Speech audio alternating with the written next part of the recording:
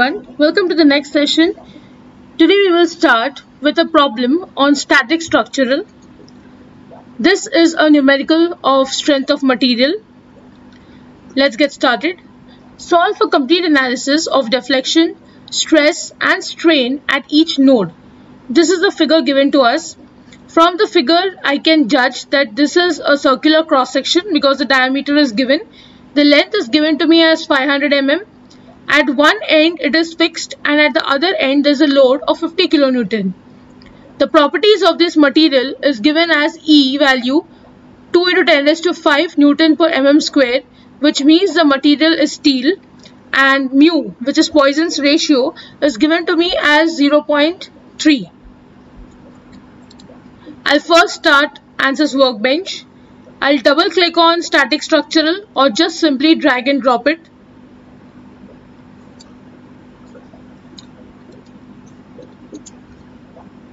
I am labeling it as static structural V1. Right click on geometry.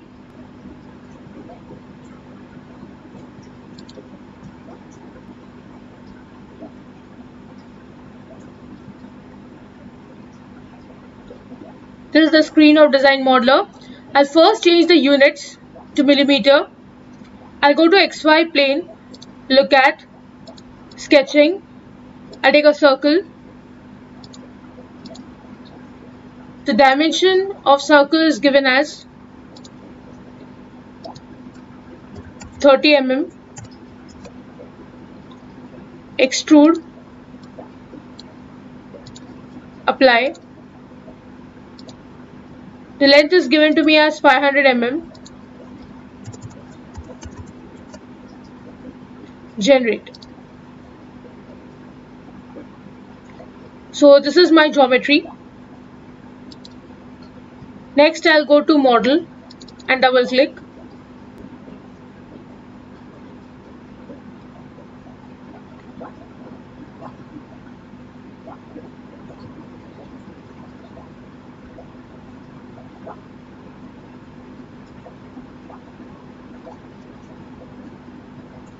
So this is the screen of model First I'll go to geometry. Here on I'll click on solid. I can see the material assigned is structural steel. I will just go and check the properties of structural steel. If you see steel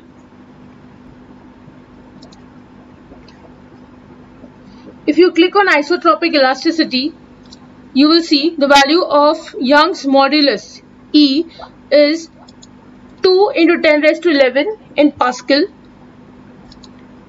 If I want in megapascal, which is also Newton per mm square, it will be 2 into 10 raised to 5. And if you see here, Poisson's ratio is 0.3. So this was in Pascal. I'll leave it to the way it is and I don't have to change the material because it is steel itself. Then I'll go to mesh, sizing, relevance center. From coarse, I will choose to fine, update.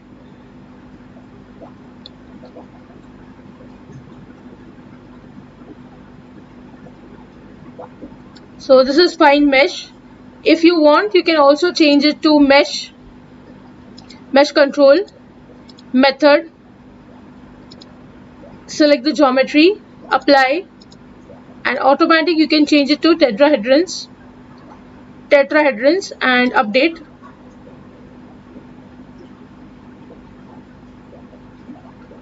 This is how it looks like. Now first I'll align my body. If you can see this direction is the positive Z direction one end is given as fixed and the other end is a load of 50 kilonewton.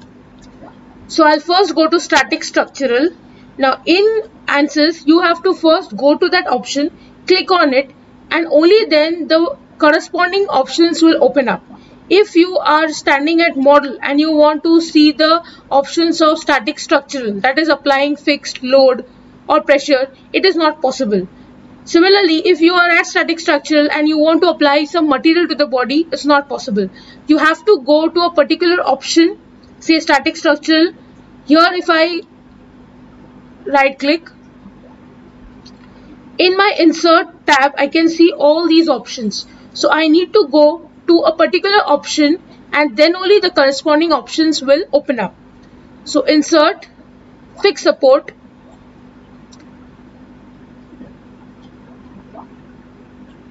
it is asking for geometry. I want to select this face so I'll select here. Apply. It is fixed now. The other way of giving boundary condition is first select the face right click over there and insert. Apply a force along the positive z direction. So vector you need to change to component z direction the load is 50 kilonewton and apply and next I'll go to solution. Right click insert. I am told to find the deformation. I will find the directional deformation along the z axis. Also I have to find stress. I'll find von Mises stress. And I have to find strain, von Mises strain. I'll go to solution, right click, solve. This is one way of solving it or I can directly come here and solve. I may also press F5 that is also possible.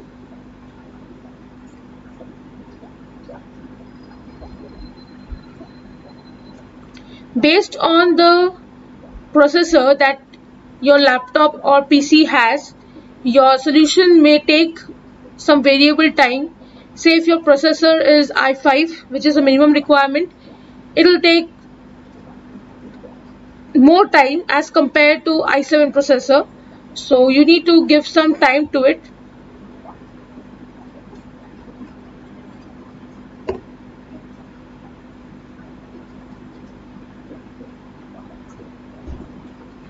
and I have also chosen a tetrahedron mesh which means my meshing is quite complex because of which it will take even more time. Because my processor is i7 yet it is taking so much time which means that it is only because of the high end mesh which we have given. And high end mesh means we are going to have very good solution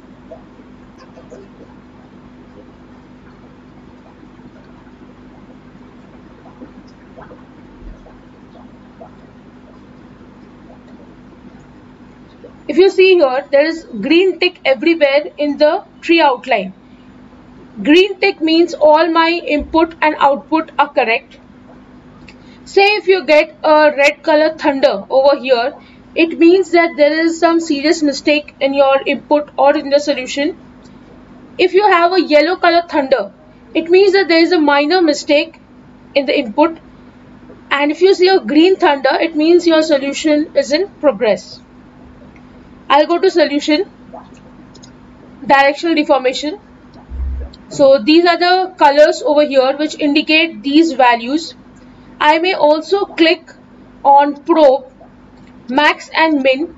If you see this side shows maximum deformation because at that end I have applied the load of 50 kilonewton and at this other end I get minimum deformation which is 0 because this was fixed end. In between these colors are going to indicate what is the value at which point.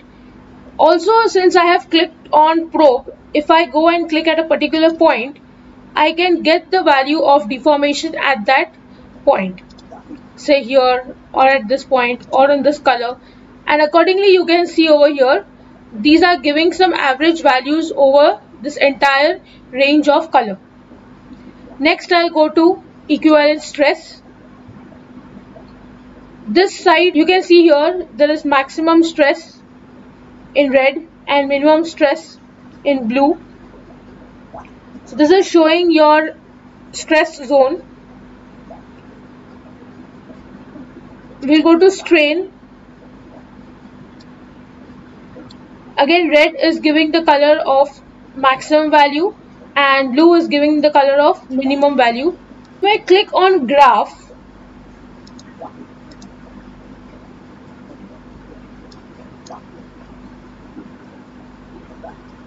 and animation, you will see this kind of an animation.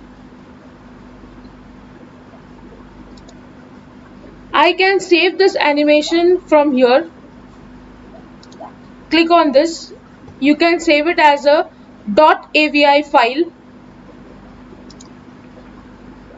I can change the frames per second so that I can just make it faster or slower as per my requirement. One last option I would like to mention here is of print preview. Say whatever results I have obtained, I want to take a print of it. In that case, I just have to click on print preview. Here I can see print if my PC is connected to a printer, I can directly take a printout. If not, I can go to Microsoft, print to PDF and print. This file will be saved as a PDF file and I can take the printout as and when I need. When you do a particular project over here and say you want to submit a report of it, you have to just click on report preview and whatever data input and output has happened here along with the geometry and all is in a printable version you can just print it for your reference and some submission cases this can be used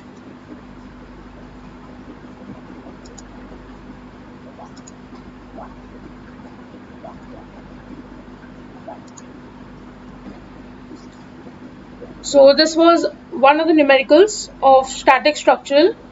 I hope you have followed this video. You can try it out.